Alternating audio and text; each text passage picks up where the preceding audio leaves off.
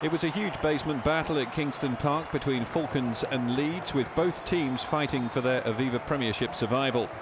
For a match of such importance, it was unsurprising that the opening exchanges were fraught, but in the end, Jimmy Gopperth, stand-in skipper for the day, calmed the hosts' nerves with a penalty on 13 minutes. Moments later, Falcons scored their first try.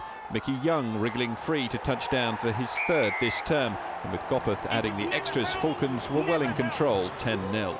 Leeds fought back gamely, and leading from the front was Steve Thompson, who showed good awareness of the laws of the game when he pressed the ball against the line and the post for the visitors' first try of the afternoon. Falcons quickly reinstated their advantage as Young showed great awareness to release the ball down the blind side after a succession of phases and Jeremy Manning scored his first since the return fixture at the end of February.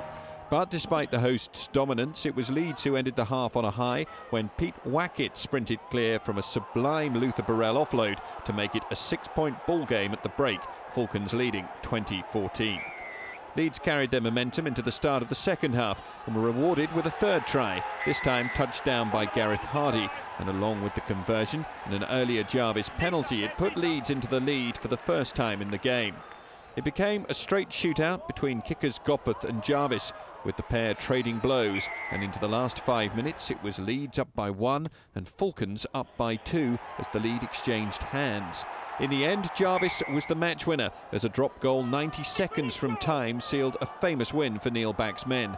A defensive bonus for Falcons, but the win for Leeds and just how vital that victory proves come the end of the season will be seen in the crucial next few weeks. Final score at Kingston Park, Falcons 29, Leeds 30.